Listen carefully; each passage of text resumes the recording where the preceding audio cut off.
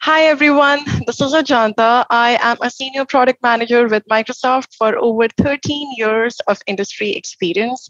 I'm deeply passionate about data and analytics, and it has been instrumental in integrating data as a key element in product roadmaps. So today, I am going to speak to you about data is an integral part of product management. Let's get started. I would first like to get us started with what is product management? So, product management is really a very strategic function that drives every step of product life cycle from ideation to development to go to market to continual support of product. Product management is a very strategic function that defines the very existence of a product, the reason for why the product exists, the why. Why does the product exist? At a high level, following steps are involved in product management. Number one, defining the problem. Number two, quantifying the opportunity. Number three, researching the potential solutions. Number four, building a minimal viable product, commonly known as an MVP. Number five, creating a feedback loop. What is the role of data in product management? In today's digital era, where technology is more dominating than ever before, users are constantly adopting new habits coupled with changing mindsets. Data is integral to understanding the problem and delivering data driven solutions with business metrics that are centered around the return on investment without the influence of data, the product is quite often at a risk of being blindsided and we end up building something that may not offer sufficient value to users and ultimately may be at a risk of either being misused or manipulated. Following are some of the critical areas in product management where data plays a crucial role. Number one, measure the right things. Number two, being patient and avoiding vanity metrics. Number three, running tests. Number four, qualitative and quantitative data. Number five, product analytics tools. Number six, key results. We are going to walk through all of the six critical areas in product management where data plays a crucial role in depth over the next few slides. So let's get it started. Let's begin with measuring the right things. You can imagine the product teams are like ships in an open water where metrics are really the driving compass that helps them understand the desired outcome.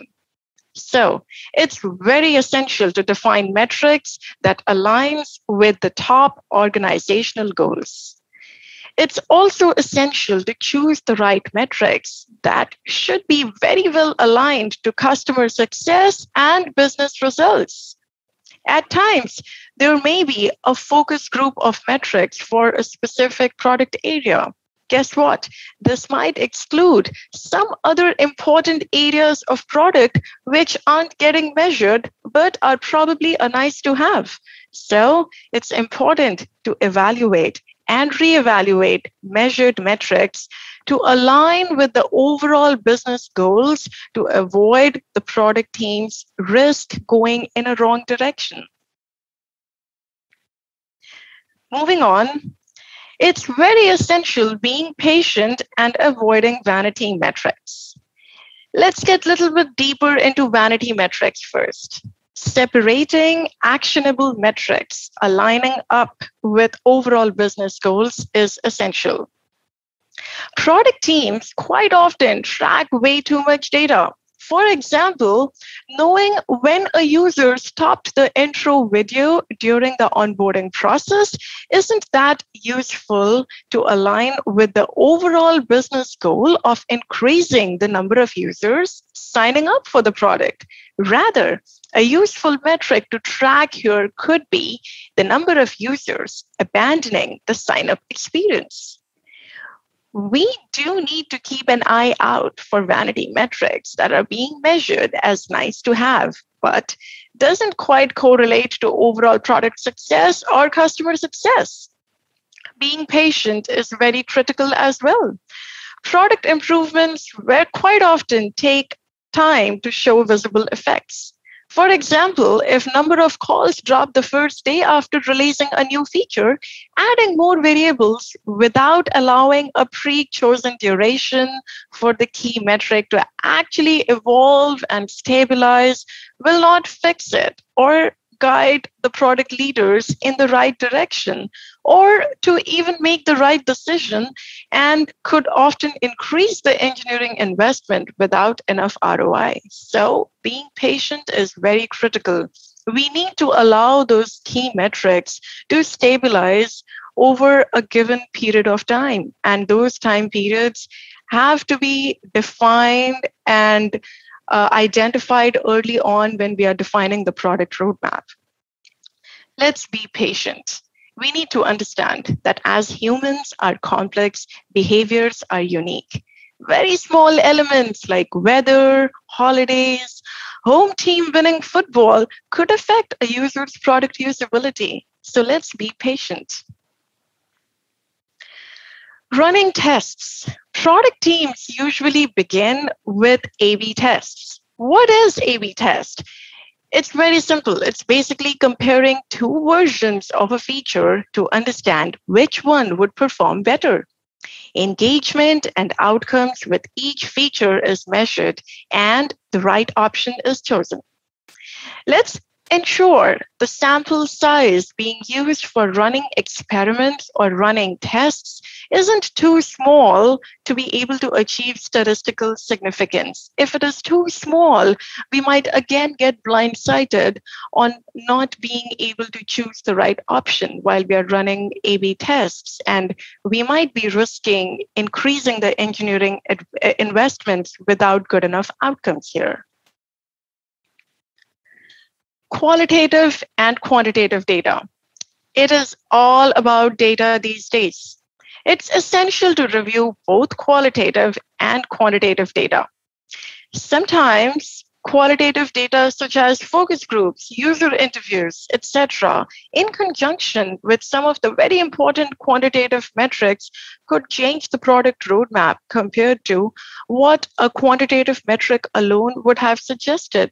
For example, just looking at the number of monthly active users added to your product compared to in conjunction with the group of users that is being focused on, the group of users that is really signing up for my product, and the other group of users where the growth may be a little bit slow. If I combine both qualitative and quantitative data sets, the perspectives are very different. And the data that is shared with our team through that process is very different. And hence, that influence the product roadmap very differently compared to if I'm just being focused on the quantitative metric alone. We would like to create products that not only solves users' pains, but also make sure that the user loves the product cognitive behavior and emotional connection plays a deep role and very hard to measure. Key results are very commonly used terms in a lot of the product teams, small or big, large or small organizations. Key results are very critical. Key results are basically a mechanism to define the outcome and success of a product which is intended to solve the problems of a certain focused set of user personas. For example, a key result to a data storage product could be number of monthly users upgrading to additional storage or number of new users signing up into the product to store data. This would help us as the product team understand the engagement of new users with the product and hence, this would help us drive the product roadmap towards success, customer success, and solve the user's pain points appropriately. So, how does a product manager really use data here? ultimately, what we're really talking about is data uh, is an very integral part of product management. In the early 2000s, if we remember, companies like LinkedIn, Netflix, Uber had a problem. Teams across the organizations were working with lots and lots of data at scale. Data was powering up their product roadmap, fueling executive level decision making and informing their paid marketing campaigns. Internal and external data was flowing in and out of the company. As a result, the product manager would often use data in influencing the product roadmap and asking some of these questions. What data exists? Who really needs this data? Where is the data flowing to and from? What purpose does this data serve? Is there a way to make it easier to work with or access this data? Is this data even compliant and actionable? How can we make data useful to more people at the company and make it faster to access as well? So, what are the specific outcomes that are usually delivered by data? increased data accessibility. Surface the data where people need it and when they need it instead of just randomly surfacing data everywhere. Let's increase the data democratization. Let's make it easier for people to manipulate the data with the right access and permissions involved. Let's increase the return on investment on data and let's make it faster Let's enable our users to gather quicker insights from the data. Let's provide more precise insights, like including experimentation platforms, the A B tests. What are some of the essential features a product driven by data should absolutely have? Reliability and observability acceptable downtown for a software as a service product is a discussion of how many nines. Is it a 99.9% availability? Is it a 4 9 availability, 5 nines availability? Scalability. The data product should scale elastically as the organization and the demand grows. Because guess what?